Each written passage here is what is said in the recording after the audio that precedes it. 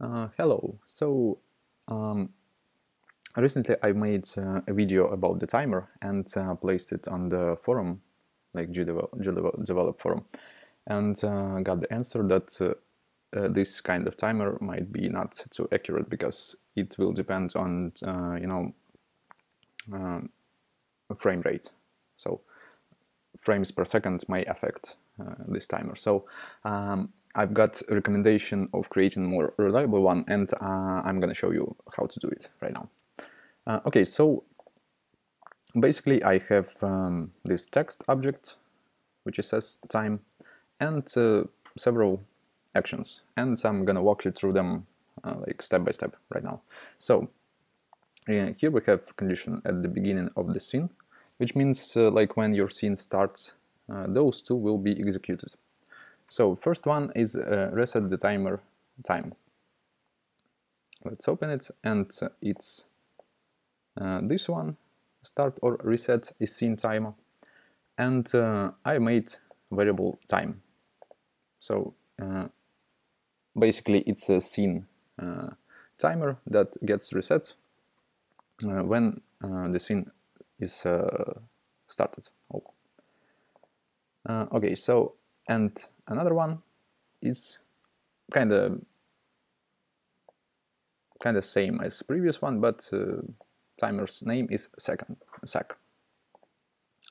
Okay, and uh, then we have a condition when uh, the timer sec is greater than one second.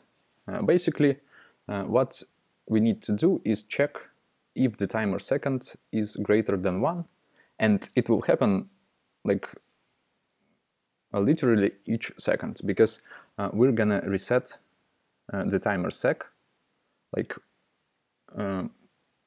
whenever it's greater than 1. So when it's greater than 1, it will be uh, dropped to 0 and uh, like each second, it's gonna happen each second.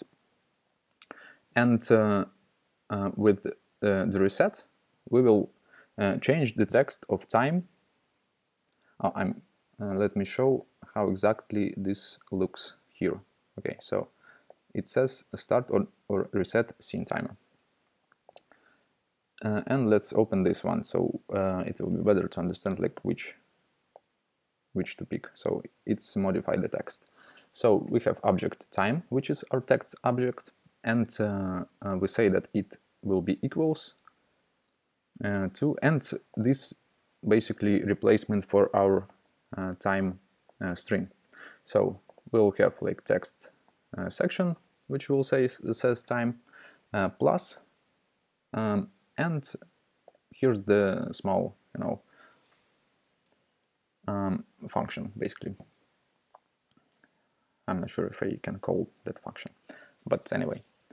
Uh, okay, so basically what it does, it takes the variable time uh, does this function to it, like action.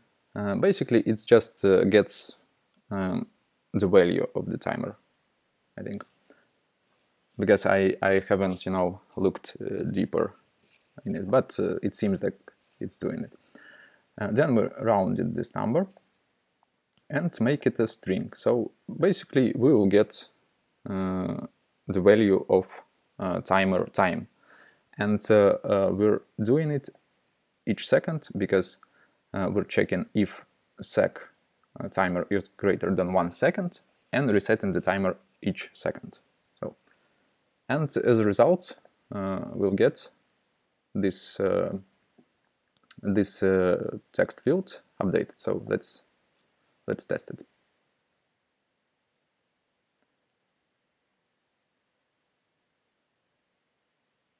Okay, that's maybe because um, I have low battery and it's throttling. Okay, here it goes. As you can see, it's just updating each second. And I think uh, with the you know low battery on on the laptop, uh, previous one uh, will be not too accurate because uh, frame rate might be dropped right now. Anyway, so this this solution I think it's much better and uh, I recommend to use it if you if you need to, you know just count how much time is elapsed from the beginning of the scene. okay, thank you for watching. Uh, let me know if you have any questions. Uh, I will be glad to ask them in the comments or like anywhere.